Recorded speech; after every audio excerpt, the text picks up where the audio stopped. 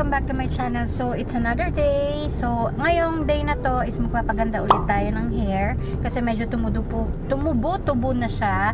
And magpapableach ulit tayo kay mother using this Olaplex na binili ko sa Shopee. And uh, binili ko yung tingi-tingin na lang kasi medyo madami yung ano na din. And medyo maharly ka siya. 6,000 yata yung isang set. So, this one is step 1 to 3 na siya and uh, good for 2 sets na siya ng pagbe-bleach. So, ayun. So, andito na tayo sa salon natin. Ayan. So, ayun. Balitaan ko kayo kung ano mangyayari sa ating hair. Then, there you go. Hinahalo na ni mother yung mga ingredients, which is the bleaching powder, yung oxidizing lotion, which is 40%, yung pinabili ko sa kanya, and the vials ng step number 1, yung Olaplex. So, ayan. Dalawa na yung ginamit ko kasi hindi daw kakasya sa kapal ng hair ko. So, ayan.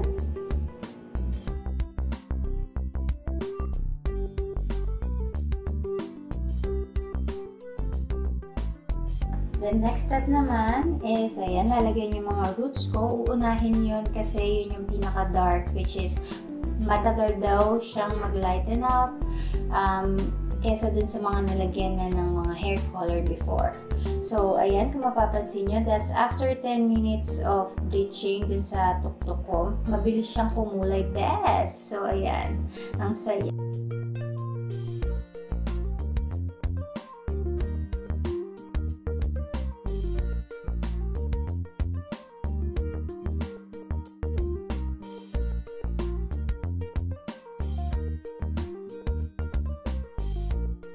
So this is the hair after the bleaching.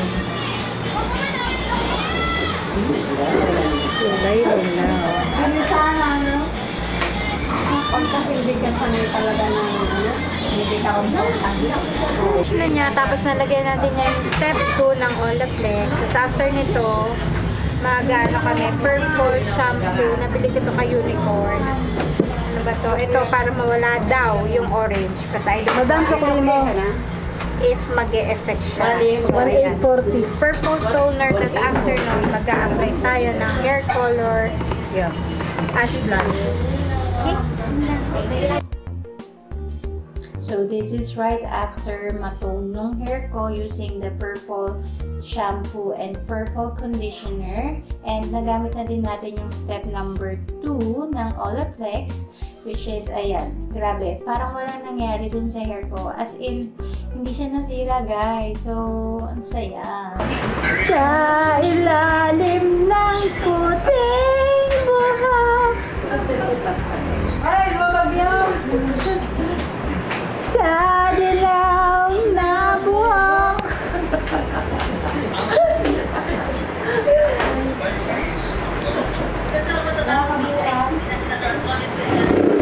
Natawa ka naman ni Bella.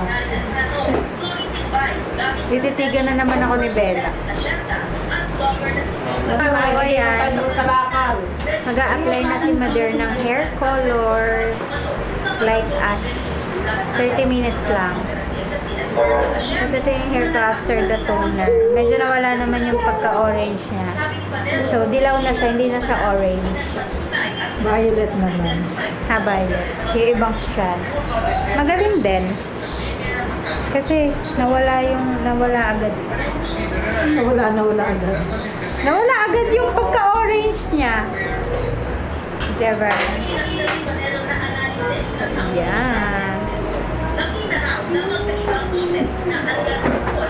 Let's see again kung ano magiging resulta nitong hair na to.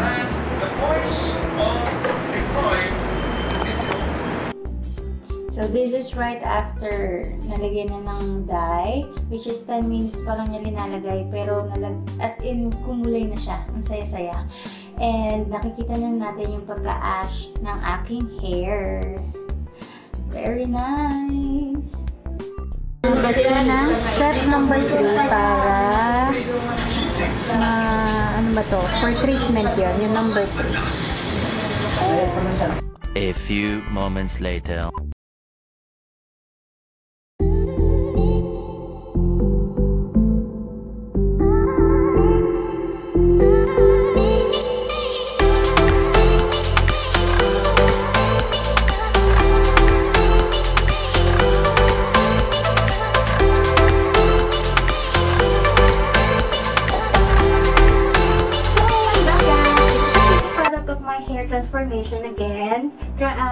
Transformation 2.0. Ayan. Ito, medyo na-achieve ko yung gusto kong color na medyo may pagka-granny hair. And yun nga, medyo kitang-kita yung pagka-ash niya and hindi siya dark.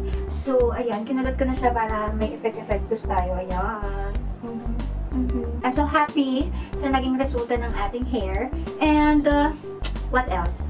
Ang ginamit ko, napansin ko, yung Olaplex, hindi niya talaga nasira yung hair ko. As in, parang yung hair ko before, kung anong condition niya, yun pa rin siya ngayon. It means, hindi siya nasira or anything. And, ayun, ah, medyo pricey lang siya kasi 800 for 2 vials. Dapat, dalawang set ako ng bleach, ba? Kaya lang, medyo makapal yung hair ko. Kahit maikli yung hair ko, makapal yung hair ko. So, yung dalawang vial, nagamit ko na siya. And, uh, ayun, maybe next time, siguro kapag may pera, nabibili ko na isang set kasi mas makakamura syempre kung isang set. Then, yung purple shampoo and conditioner naman, for me, nag-work naman siya. Though, hindi ko nababad yung shampoo ng like madami. Hindi ko siya nalagyan ng madami. So, kung nalagyan ko siya mas madami, for sure, mas magla-lighten up siya, mag-white siya. Pero, ayun, it's okay for me kasi nag-work naman siya na wala yung ah, orange yung pagka-orange ng hair ko. And ayun, naging yellow siya, so nag-lighten siya. So, it helps na ma-achieve ko yung color na to. If you want din naman na, with the help of my mother, with the help, with the help of my mother, ayan, meron, uh, pwede kayong pumunta sa kanya, dyan sa Macy's Salon namin, sa Marikina. And ayun, siya din ang gagawa sa inyo if you want, and to achieve this kind of look, you know, hairy, hairy, my granny hair. So anyway, sana nag-enjoy kayo guys. And if you have questions about uh, the instructions or kung ano yung mga steps na ginawa ko, and please comment down below or feel free to message me on my Instagram, Maylin May. And that's it! Please don't forget to like and subscribe and click the bell button para ma-notify kayo whenever I upload videos like this. Bye!